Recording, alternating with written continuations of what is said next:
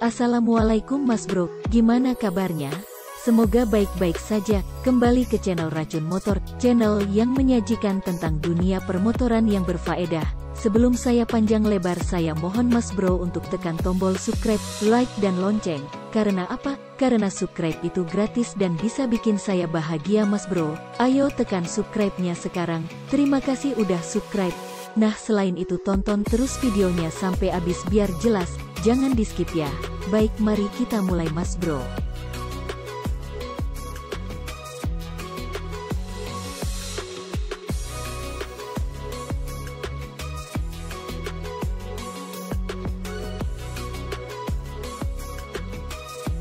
Motor bebek Honda Super Coupe C125 2021 punya warna baru, segini harganya.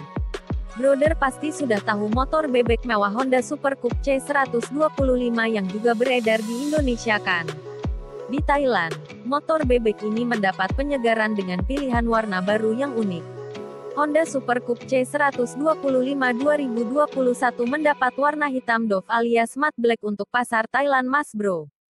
Super Coupe C125 2021 memiliki warna hitam mat yang sangat misterius, bikin tampilan motor ini semakin berharisma dan elegan.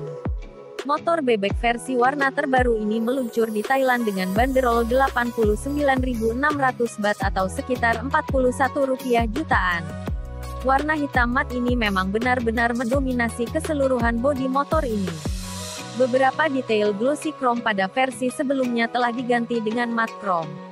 Warna matte chrome ini terlihat selaras dengan tema warna utama, namun juga menunjukkan detail spesial yang lebih menonjol.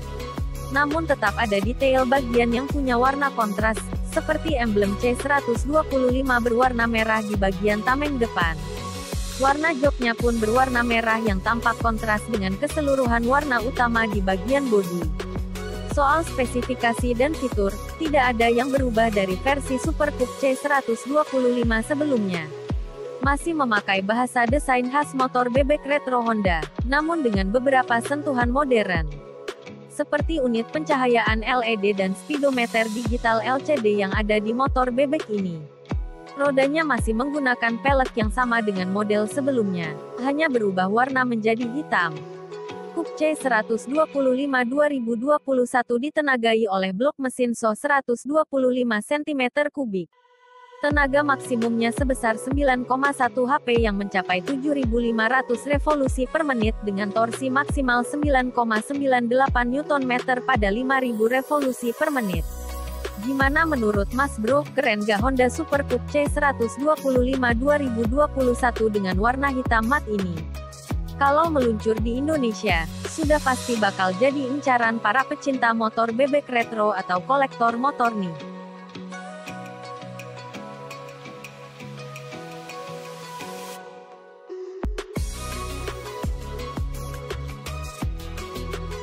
Gimana mas bro, cukup jelas penjelasan video tadi? Nah kalau puas tolong dong tekan tombol subscribe, like dan lonceng, biar saya semangat bikin video-video yang lain. Terima kasih mas bro sudah mampir ke channel saya, keep safety mas bro.